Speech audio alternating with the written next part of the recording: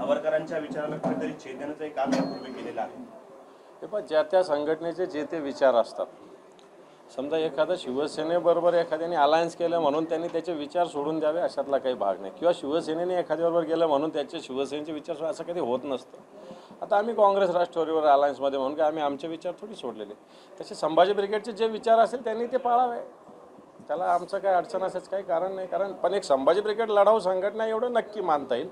ठीक आहे त्या वैचारिक मतभेद दोन संघटनेत असू शकतात. म्हणून काय जवळ येऊ नये कोणी अशातला काही भाग नाही. एबीपी माझा. उघडा डोळे बघा नीट.